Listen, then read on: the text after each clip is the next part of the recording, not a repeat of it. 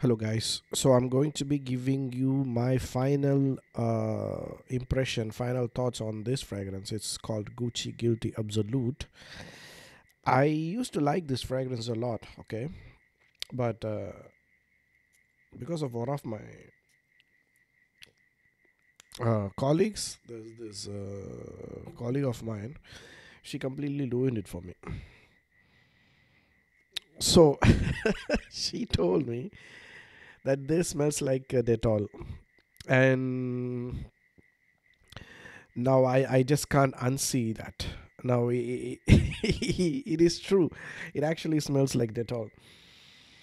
I, I I am really surprised that I didn't make that association. You know what I mean? It actually smells very close to a Dettol. Like maybe not in the opening, but as and when it dries down, it pretty much smells like a Dettol. It's it's basically what like uh, a leather uh, accord uh, mixed with the patchouli.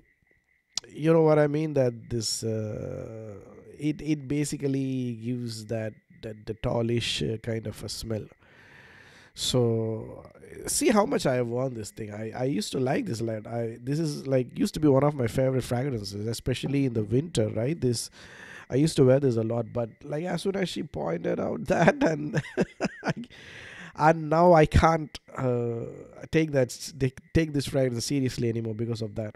But I found a hack. So what I do these days, right? If I want to wear Gucci Guilty Absolute, this is another one of my favorite fragrances. It's called Sultan Vetiver.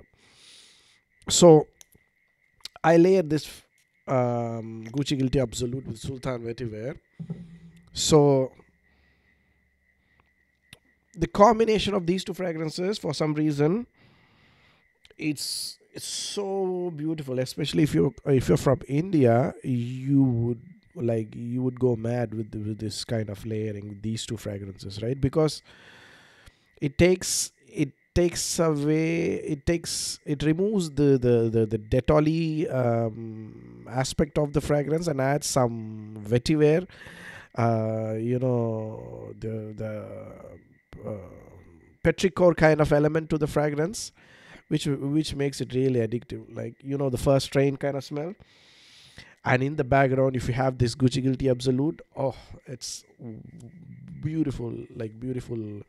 For that reason alone i may uh, buy another bottle of gucci guilty absolute uh, just to you know layer along with uh, sultan vetiver but uh, other than that this uh, by itself this fragrance i mean if you're planning to buy it just remember this in the dry down it it, it smells pretty much like a, a dettol lotion.